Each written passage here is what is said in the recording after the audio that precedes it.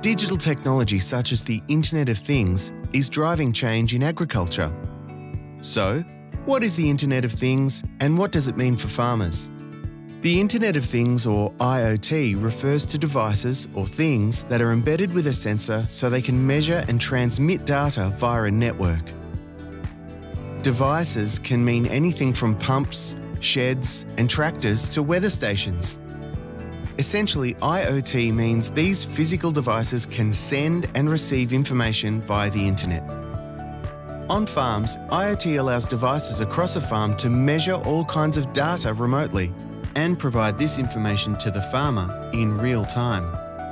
IoT devices can gather information like soil moisture, chemical application, dam levels and livestock health, as well as monitor fences, vehicles and weather.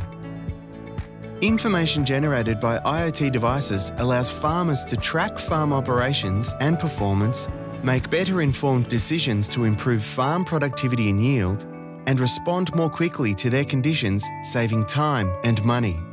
It's putting the data behind the all important farmer gut instinct, whether that be knowing when to check on water supply to a trough, how much fertiliser to apply to a crop, and which ewe to check during lambing. The Victorian Government is committed to driving the uptake of digital technology, including IoT, in agriculture. To support this, Agriculture Victoria is rolling out a $12 million on farm Internet of Things trial. The trial is part of the government's plan to increase digital connectivity and usability in regional Victoria.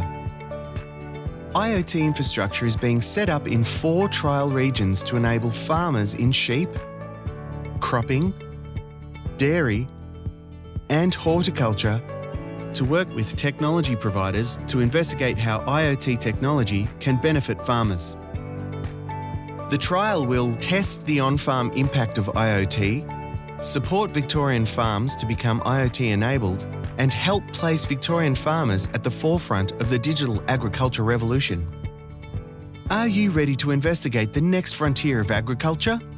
Find out how you can get involved at agriculture.vic.gov.au forward slash digital ag.